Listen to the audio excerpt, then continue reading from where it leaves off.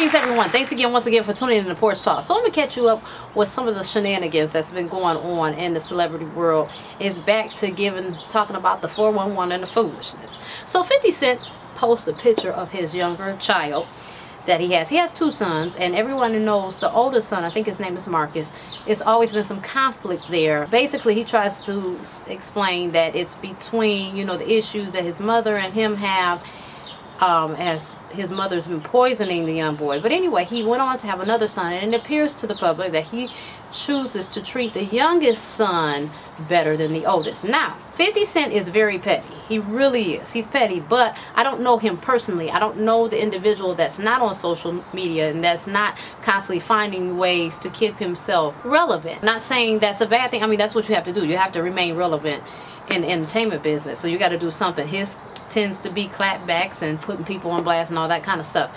So that's what he does. So anyway, he posts this picture of his younger son and he says, Happy holidays. Enjoy today, man. Take some time for things that are really important to you. God bless. It's Easter Sunday. I know y'all clean for real at the church. So somebody responds, imagine how your firstborn feels seeing this, shaking my fucking head. You're a piece of shit, for real. Can't even be a dad for the one that actually looks like you. Straight joke. So then 50 replies, fuck you, bitch. You don't know shit about what you're talking about. Everything was positive and then you come with the bullshit, but go suck a dick. Of course. Here's the thing. I don't know why these fans, they like to troll or fans or foes or whatever the hell. They like to troll in the comments, they like to get a reaction, but at the end of the day, we have to understand that when we're commenting on these people's lives, despite what we think, we don't know shit because we're not living in their life.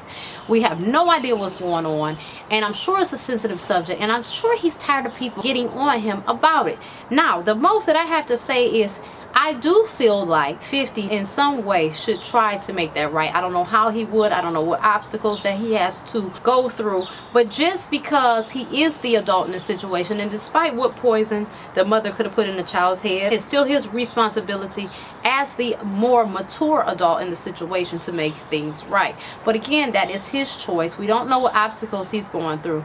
And these fans really need to stop being so disrespectful and so ridiculous. You don't even know. Maybe he's trying to be a better father father to this child and make this more right because he knows how bad it went with the first. People go through all kind of different stuff. So y'all really need to stop. Seriously. Yeah, but 50 is petty. And it's been said that he can dish a lot of stuff that he's not willing to take. I get that.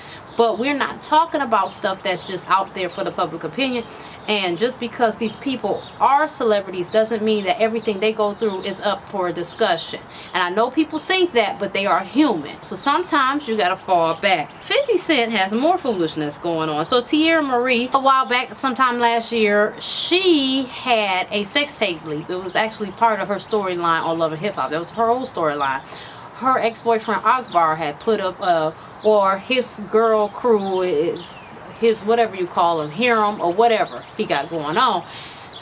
Somewhere in that group, they leaked a sex tape. And 50 reposted a picture of her in an act that was already posted. Okay, so she decides to sue him. And from then, he countersued and she actually lost and she owed him 30 grand. So now it has went up. So a judge has issued a bench warrant against Teairra Marie. She was going around saying, I ain't got it, making t-shirts. Every time you see a post, she's antagonizing 50. I ain't got it, I ain't got it. She got on new wigs and she's in the airport, but she ain't got it. Okay, and she probably doesn't. You can't equate a $300 wig i'm just saying i don't know how much it costs. Uh, i mean even if 3000 ain't 30000 so you know most people are not going to stop living their life despite the fact that it might piss you off to see it. Like you owe me money. How dare you get a new toothbrush? You know what i'm saying? That's how petty some people can be. And i'm not calling 50 petty. I'm just saying the girl's not going to start living. But anyway in spite of so she is wanted after a judge ordered a bench warrant for her failing to appear at a court hearing in her battle with 50 Cent. So it was held where she was ordered to appear and never showed up. The Los Angeles judge has put a $5,000 warrant on her. I don't know, Teairra. Sweetheart, you might not have it, but look like you will have to come up with it because this is not going away. Then 50, of course, he had to say something about it. He said, see, the shit ain't funny now is it funky? He called it funky, y'all. You best be coming up with my money. I'm gonna need a 75k now after they add up all the additional legal fees. The law is a law. 75,000. Mm, that's something. And then he posts another picture. Again, talking about the law is the law. Don't play with me. I don't want to play. Laugh out loud. Whew, that 50, I'm going to tell you, he ain't going to let it go. He is not to let it go. She might as well come up with, I don't know what she to, maybe she needs to start checking in her couch. You know, yeah, you find a check all your, your pockets, check the dryer, baby, because he, he needs his money. Come up with them coins. This is unfortunate. And he, he keeps posting pictures on the shape. This stuff is really crazy. Y'all, fuck with the album cover. I ain't got it. Link in my bio. Oh God, 50. Please make it stop. Russell Wilson does a really good thing. He got a $140 million contract extension with the Seattle Seahawks. And so because of that, he thanks his team's offensive line for all their hard work by gifting them $12,000 in Amazon stock each. So he spent 156,000 on his 13 linemen. Isn't that great? Talk about giving back and showing appreciation, okay? So he wrote a letter to his teammates and said, Every Sunday we go to battle together. You sacrifice your physical and mental well-being to protect me, which in turn allows me to provide and care for my family. This does not go unnoticed and is never forgotten. When I sat down to think of ways to honor your dedication, a dozen different ideas came to mind. Some were flashy, some were cool, and then it goes on. Can you imagine getting that? I mean, stocks, that's really important, right? I mean, that's a good gift. So shout out to Russell Wilson for that. That's some stuff. I need a friend like that. I mean, Russell, what's up? So, no.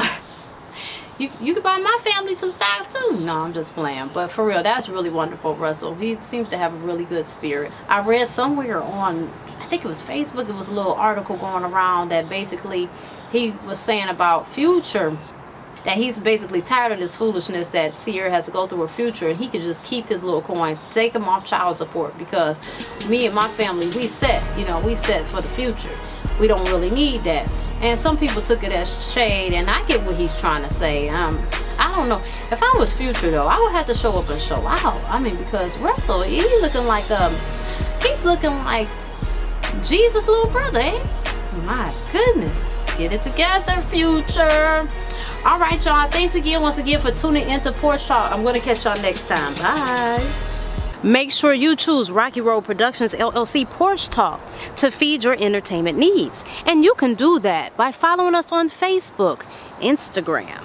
Make sure you like this video and share it with all your family and friends. Tag somebody in it, why don't you? And don't forget to comment down below and let us know how you feel. And before you leave, make sure you subscribe. That's right. You'll catch us every week. Looking forward to see you again next time. Bye.